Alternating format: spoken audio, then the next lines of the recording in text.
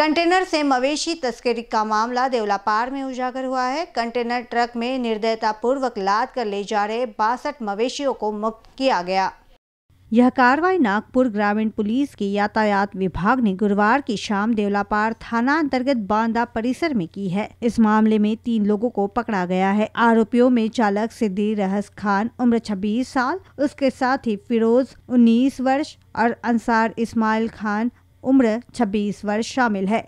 तीनों मध्य प्रदेश के रहने वाले हैं।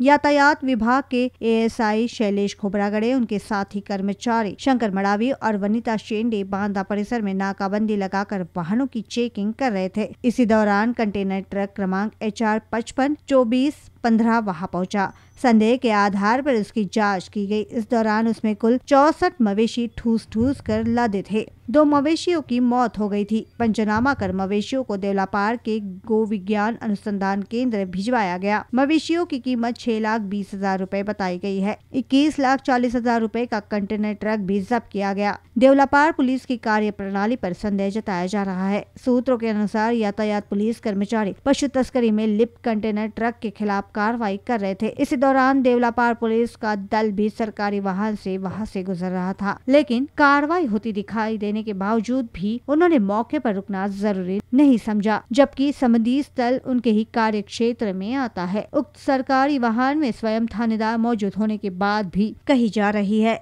इससे देवलापार पुलिस की कार्य प्रणाली पर संदेह जताया जा रहा है। बी न्यूज़ के लिए देवलापार से अरुण महाजन की रिपोर्ट।